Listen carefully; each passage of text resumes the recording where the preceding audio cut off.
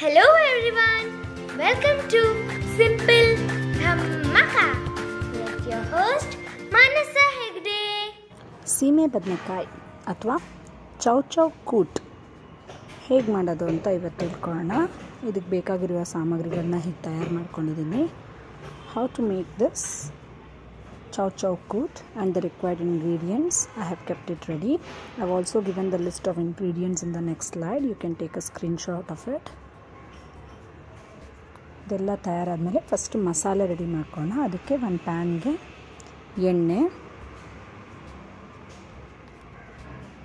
Oil and then jeera, ಜೀರಿಗೆ ಕ್ಯೂಮೆನ್ ಕಡಲೆಬೇಳೆ, Bengal gram ಉದ್ದಿನಬೇಳೆ, ಉರದ್ ದಾಲ್,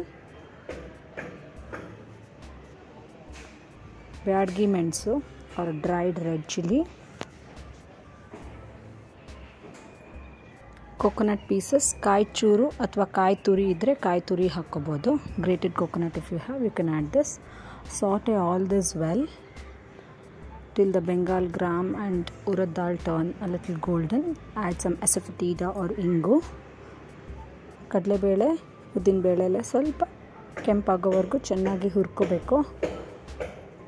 ಆಮೇಲೆ ಸ್ವಲ್ಪ ತಣದ ಮೇಲೆ ರುಬ್ಕೊಂಡು ಮಿಶ್ರಣ ರೆಡಿ ಮಾಡ್ಕೋಬೇಕು. ಈಗ ಒಂದು ಕುಕ್ಕರ್ಗೆ ಒಂದು ಸ್ವಲ್ಪ ಎಣ್ಣೆ, ಸಾಸಿವೆ, ಇನ್ನು cooker I have taken some oil, mustard seeds, dried red chilli, curry leaves, ಕರಿಬೇವು, ಒಗ್ಗರಣೆ ಹಾಕಿ ಇವಾಗ ಇದಕ್ಕೆ ಹೆಚ್ಚಿಟ್ಕೊಂಡಂಥ ಚೌ ಚೌ ಅಥವಾ ಸೀಮೆ ಬದನೆಕಾಯಿ ಅಂತ ನಾವೇನು ಹೇಳ್ತೀವಿ ಅದು.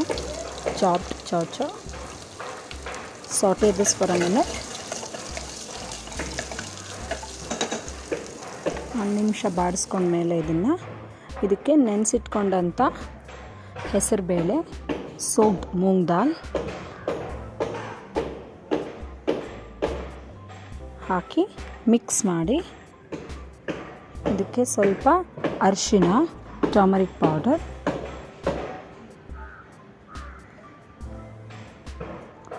ರುಚಿಗೆ ತಕ್ಕಷ್ಟು ಉಪ್ಪು salt as per the taste and then after all this adding water ಸ್ವಲ್ಪ ನೀರು ಹಾಕಿ ಕುಕ್ಕರಲ್ಲಿ ಎರಡು whistle ಕೂಗಿಸ್ಬೇಕು. Cook it for two whistles once it cools down ನೋಡಿ ಇವಾಗ ಸೀಮೆ ಬದನೆಕಾಯಿ, ಹೆಸರುಬೇಳೆ ಎರಡು ಚೆನ್ನಾಗಿ ಬೆಂದಿದೆ.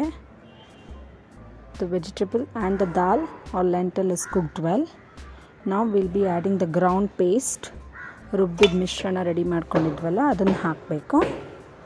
ಹಾಕಿ ಚೆನ್ನಾಗಿ ಮಿಕ್ಸ್ ಮಾಡಿ, ಆಮೇಲೆ ನೀರು ಸೇರಿಸಿ ಕುದಿಸ್ಬೇಕು.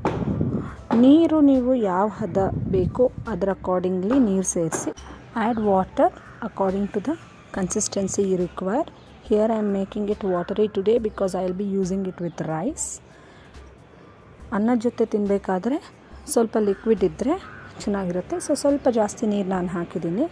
ನೀವು ದೋಸೆ ಅಥವಾ ಚಪಾತಿ ಜೊತೆ ಈ ಕೂಟನ್ನ ತಿಂತೀರಾ ಅಂತ ಆದರೆ ಸ್ವಲ್ಪ ದಪ್ಪ ಇದ್ದರೆ ಹೋಳು ಬಾಯಿಗೆ ಸಿಕ್ಕಿದ್ರೆ ಚೆನ್ನಾಗಿರುತ್ತೆ. ಸೊ ಸ್ವಲ್ಪ ನೀರು ಕಮ್ಮಿ ಹಾಕ್ಕೊಂಡು ದಪ್ಪ ಆಗಿರೋ ಥರ ಕೂಟನ್ನ ಮಾಡ್ಕೋಬೋದು. ಚೆನ್ನಾಗಿ ಐದರಿಂದ ಏಳು ನಿಮಿಷ ಇದನ್ನ ಕುದಿಸಿದ್ರೆ ಎಲ್ಲ ಮಸಾಲ ಮಿಕ್ಸ್ ಆಗಿ ನಮ್ಮ ಕೂಟು ರೆಡಿ ಆಗುತ್ತೆ.